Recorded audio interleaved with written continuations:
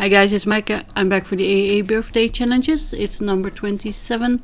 Use an embossing folder on a birthday card, of course. And here is the one that I made. I've used an embossing folder from Nelly Snellen and it's called Dots. you, you can use any which one you want.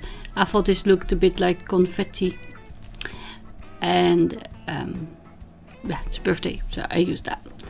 Now, for my technique, I'm doing an embossing folder wax resist or ink blending. And you need a bit of wax paper that you emboss.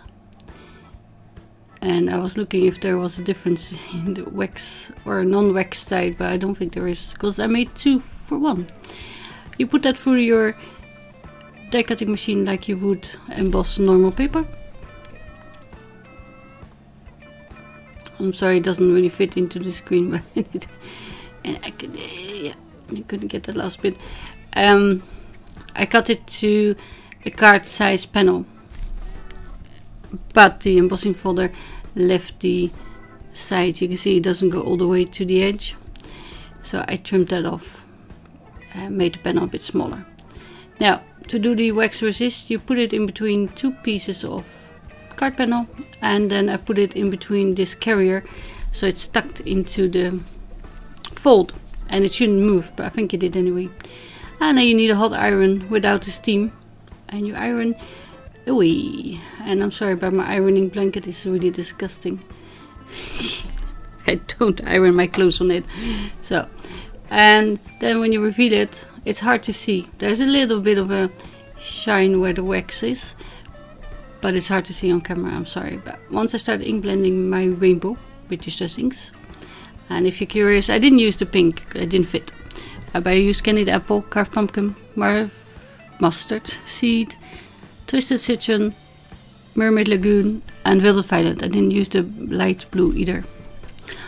But it's just a matter of putting ink on, and I did go back after I trimmed it with a second layer because of the wax it's it doesn't take the ink the same way I think. So it looked like it needed more. And it's fine you know you can put as much as on it as you want. And uh, I like this because then you don't have the texture like an embossing folder because it would have raised dots. But you have the print. So at first I wanted to use the happy birthday from Simon Stamp. I thought it was too dainty to stand up to my background. And you can see here, like the purple is not very nice cover. So I, I do go back and I do that off camera. Um, I'm not trimming it to the size I want it on my card, which is uh, 14 by 9.5. I didn't like it. So I went back and you can see it looks much better than this one and um, yeah I dismissed that and I went for the Carlijn Design Hoera die cutting set which has a shadow border and, and, and more borders. And you could use it like this because that's remnants but I went for black shadow and white letters because I think that looks very nice. And it's nice and bold and it also looks you know uh, contemporary modern and youthful I don't know. I'm just making that up actually. so as usual, all the links are down below if you want to join in on our challenge. Uh, make sure it's a birthday card and use an embossing folder. I did. uh, first I went for just two corners, but yeah, didn't like it. So I, I rounded all the four corners and then I'm mounting it with foam tape and I also mount a black shadow with foam.